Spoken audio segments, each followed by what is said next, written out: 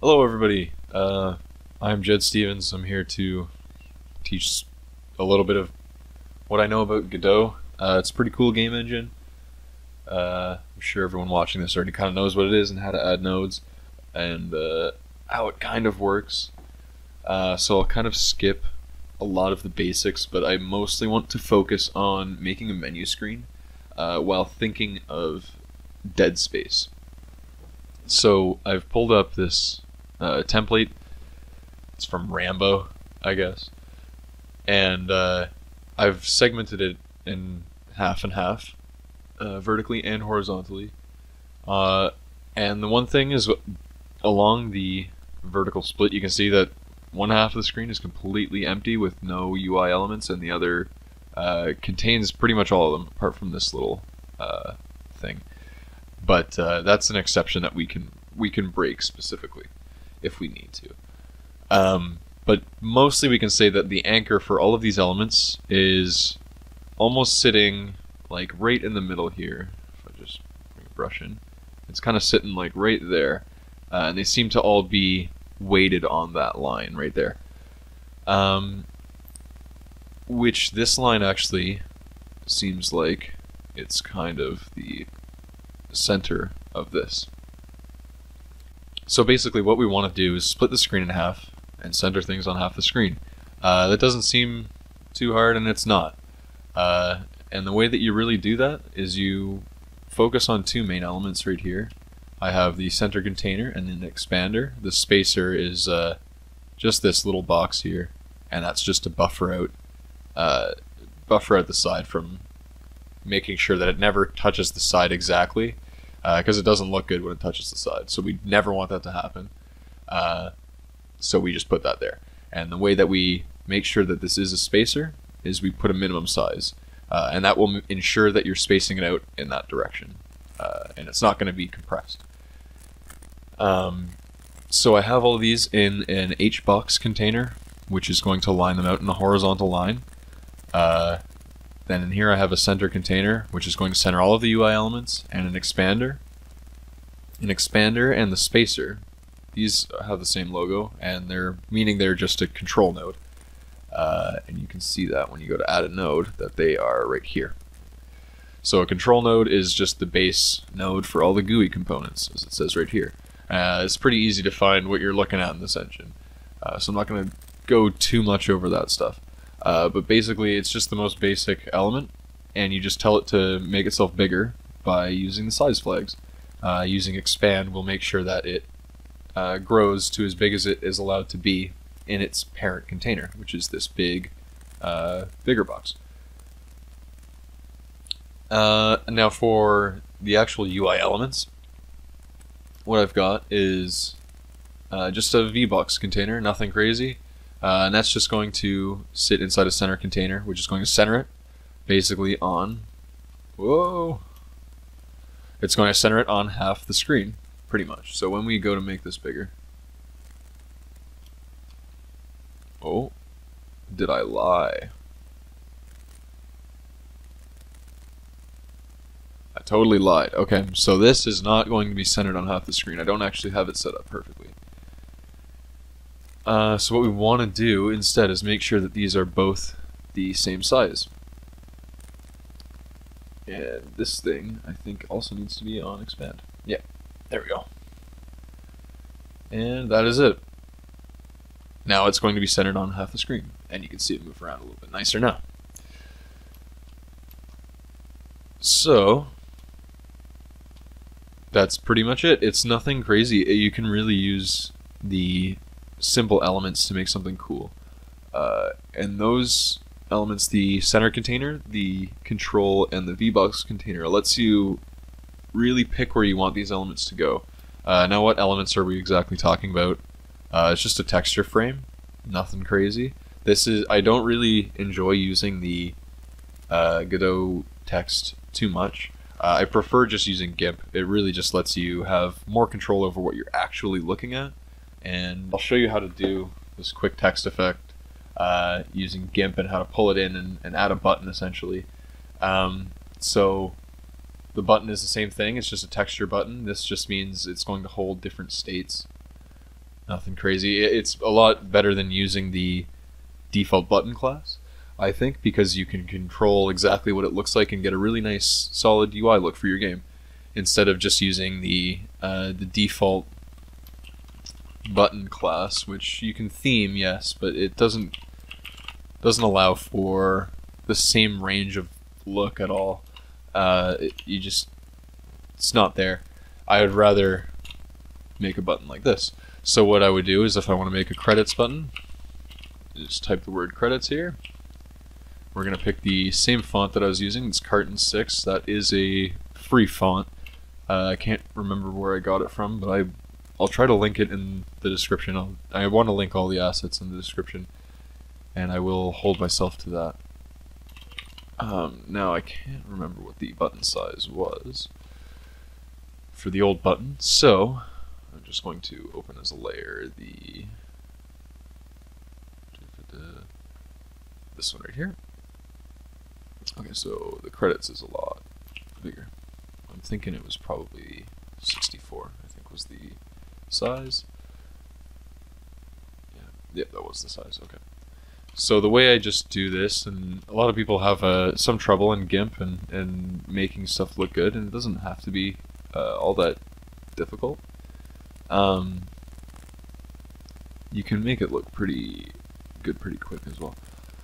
In GIMP, it's just not Photoshop, and that's what people seem to trip up over. Uh, you just have to think of it differently. So this isn't really a GIMP tutorial, but just more a uh, just how to do this kind of effect quickly, I guess. You want to select path from text, uh, from path, and then da -da -da I just grow this. It's nothing crazy. That's just how to make a normal bo border in uh, GIMP, I guess. I think I had it on 2 the last time I did that. Uh, and then we'll just make it, fill it in with some white, drop that to the bottom. Yep, and that looks good. And then I'll just make it so that I can auto crop these. Boom We'll export this as right here. We're gonna go to the credits button. Oh.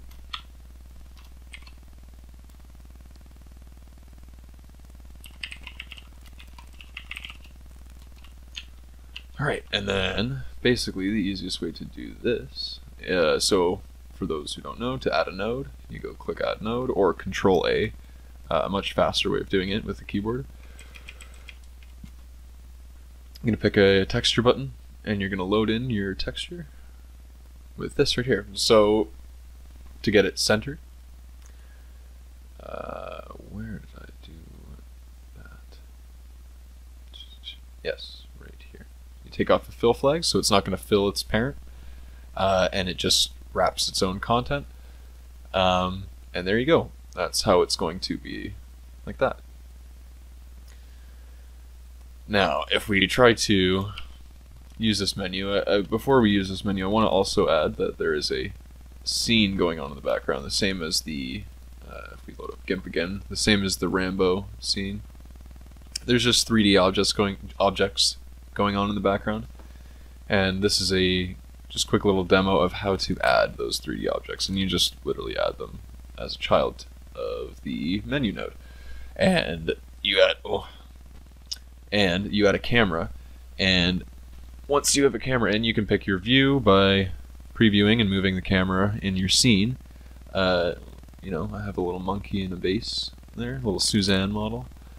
Uh, and yeah, there's nothing that crazy about it. So you just give it a run.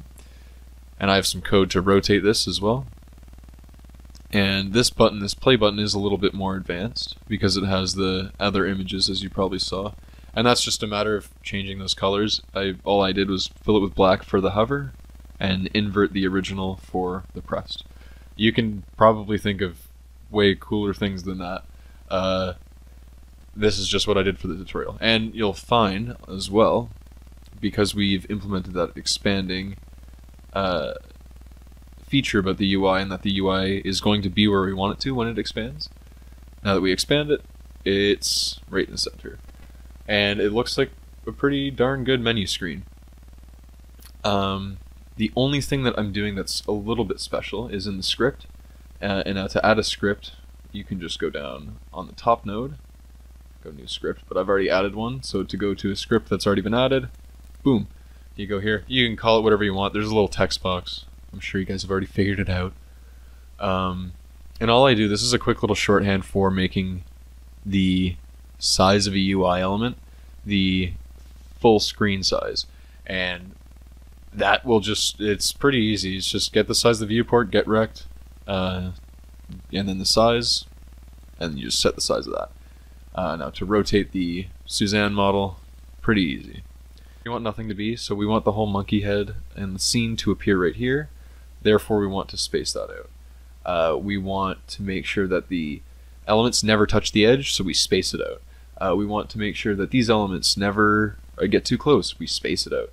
It's you just make sure that you give everything the appropriate space in between itself to make sure that it looks good, and you'll be fine. And you can do that by giving things a minimum size or changing the size flags. Uh, composite that with a 3D scene, boom, you have a whole menu screen uh, really, really quickly. Uh, now, how do you make the buttons do something? This kind of goes into a little bit of scripting, and it's not anything too crazy.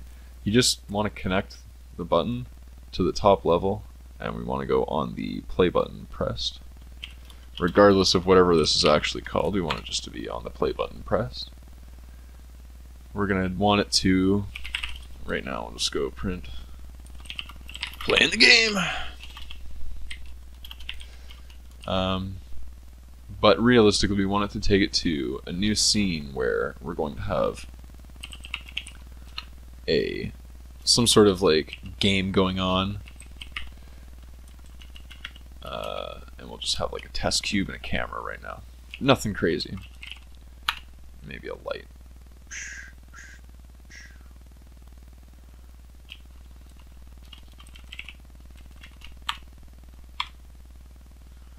We will bring this up in here. And we'll save this as the game.tscn. Uh, and when we go back to the script, for those who don't know, the way that you change a scene is you go get tree, change scene, and then you just load the path. Uh, and for those who don't know, the res prefix, that just refers to the game folder and all of your resources, the, the resource folder. Yeah. So now, when we run this, Make sure it resizes. Oh, where's that quote going? Now that is... That's an interesting way of getting resized. What is going on? Oh, it doesn't move for some reason. Interesting. Uh, the label is under... Oh, Why is that? No, that shouldn't be there.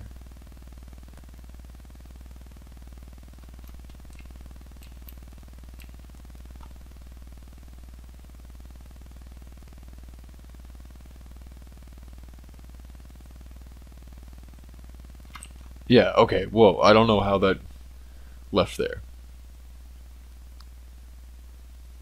There, okay, that's much better. Okay, I don't know what happened and it takes us to the game. Uh, nothing crazy. I didn't really put in any screen transition, so maybe you want to do that. Uh, the way of thinking of that, I think, is uh, starting an animation player's animation on the play button, and then when that animation is done playing, uh, that's when you activate the change scene, versus just the play button change scene. Uh, and that's not too hard to do. We'll go into a whole tutorial that probably as well. Um, but basically, the idea is disable all the buttons and play some animation, uh, and then change the scene when you when you fade to or you when the screen is black or something like that. That's a pretty good time to do it. Or present them with a loading screen and load all your assets and, and whatnot. Uh, either way, that is just invoked in the script. Uh, so as your game gets more complex, you can change things uh, that are relevant to your game and about how it starts, just in this little function. And this is such a tiny piece of code. It's pretty cool that you can get something going this quickly and this easily uh, in Godot and GIMP. They're both free. It's like, come on, you, that's pretty cool. All right.